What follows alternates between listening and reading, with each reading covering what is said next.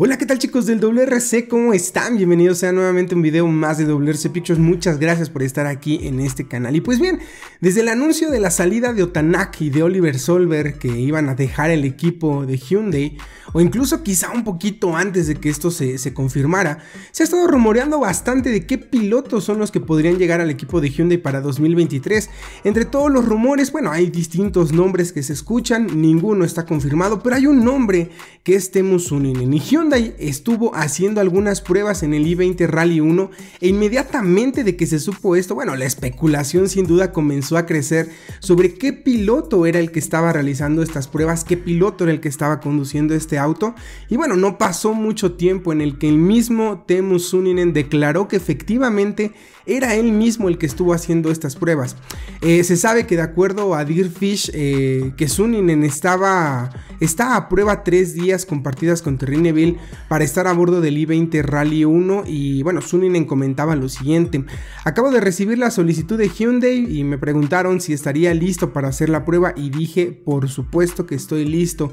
Lo disfruté, fue agradable estar de vuelta en un auto tan poderoso con mucha aerodinámica y también sentir la potencia híbrida objetivo sigue siendo llegar al Rally 1 a tiempo completo, pero estaría feliz de ser un piloto a tiempo parcial y sé que puedo ser rápido. Es difícil eh, decir sobre el futuro lo que va a pasar, pero al menos estos son algunos pasos positivos. Recordemos que Sunin está conduciendo un Rally 2 justamente para el equipo de Hyundai en esa temporada, así que bueno, es algo digamos casi natural que Hyundai haya echado mano de un piloto que tiene al alcance para poder hacer estas pruebas.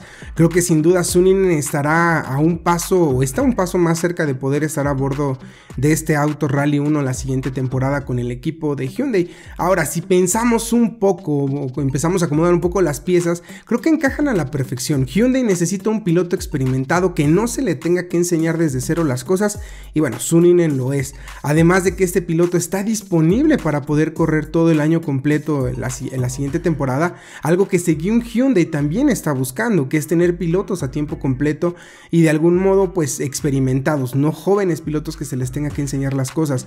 Además de ello que Suninen pues no ha estado descansando como sí, sino que ha estado compitiendo en este Rally 2 justamente para el mismo equipo. Saben cómo trabaja, saben cómo ha sido su evolución, saben qué son, cuáles son sus puntos buenos, sus puntos malos.